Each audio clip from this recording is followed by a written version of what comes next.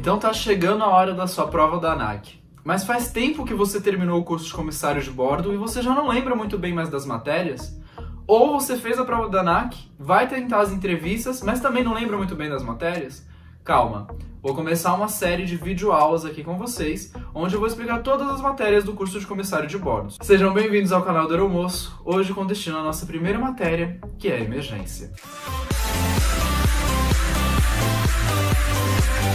Para começar a falar de emergência, primeiro a gente tem que entender o que significa emergência. Emergência é toda situação anormal que põe em risco a segurança da aeronave e seus ocupantes. E aí logo no começo a gente já tem se a gente está falando de emergência, a gente já imagina no quê? Em acidente aéreo. Mas a gente tem duas definições para caracterizar tipos diferentes de acidentes. Existe o acidente aéreo e o incidente aéreo.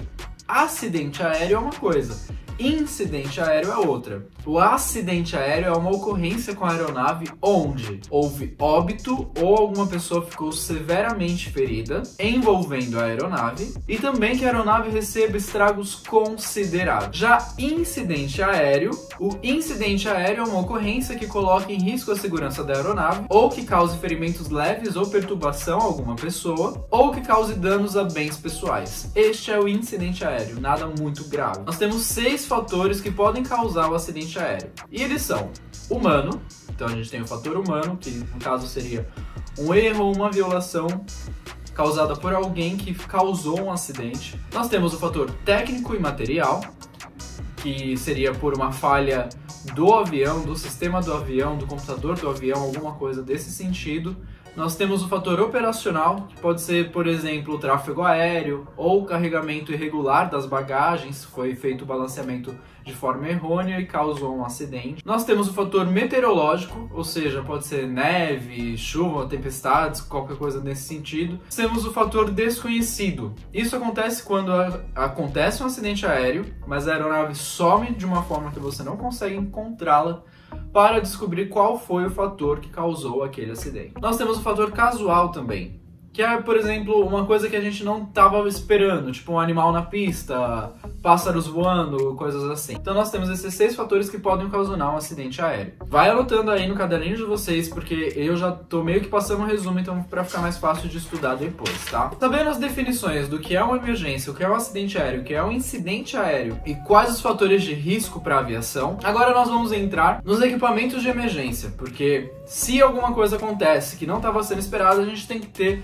ferramentas para poder lidar com essas situações. E é isso que a gente vai ver agora. Então, equipamentos de emergência. Nós temos as estações dos comissários de bordo, que são onde os comissários de bordo ficam sentados. E essa estação é configurada, caracterizada por alguns fatores. Ou seja, as estações são equipadas com assento retrátil, porque você pode ver, por onde você entra no avião, ali tem um assento, só que ele é retrátil. Então, quando as pessoas estão entrando e saindo, aquele assento está guardado. Cintos de segurança tórico-abdominal, ou seja, é aquele que vem aqui e na cintura. Máscaras de oxigênio do sistema fixo, assim como os passageiros. Na estação de comissário também tem uma máscara de oxigênio guardada no teto que cai caso haja uma despressurização. Lanternas e coletes salva-vidas. E painéis de controles de iluminação e comunicação. O funcionamento do colete não é muito segredo, você veste ele, ajusta as tiras de amarração e vai acionar puxando aquelas tirinhas. Vocês já devem ver, ter visto em alguma demonstração de segurança. É isso. Se não estiver enchido totalmente, tem umas um, uns canudos que você pode soprar para inflar o resto do colete. O assento flutuante você vai agarrar ele, ele tem umas tiras que você pode segurar embaixo dele e ele flutua, você vai segurar aqui. Bom, agora eu vou falar sobre os tipos de porta e aí a gente vai encerrar depois dos tipos de porta, tá? E aí a gente vai para um próximo vídeo depois, porque senão fica muita coisa por vídeo de uma vez só.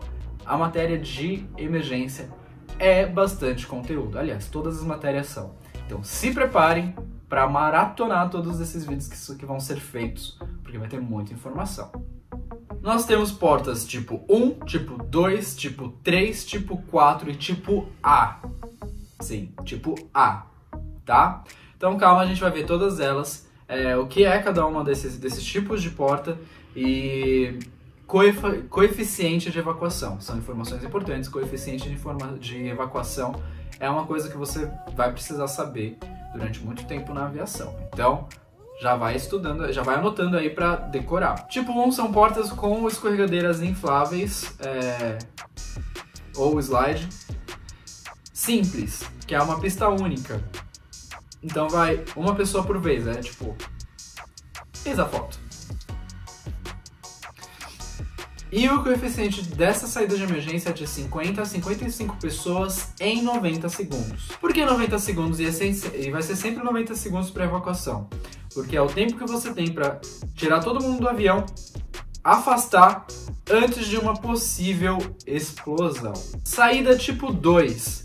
São portas com escorredeiras do tipo simples também, assim como anterior, porém desinfladas, e você só vai usar se você não tiver uma outra saída operante. E o coeficiente dessa saída de emergência é de 30 a 40 pessoas em 90 segundos. Sempre 90 segundos. Saída tipo 3 são as saídas sobre as asas. E o coeficiente de, e o coeficiente de evacuação dessa saída de emergência é de 20 a 30 pessoas em 90 segundos.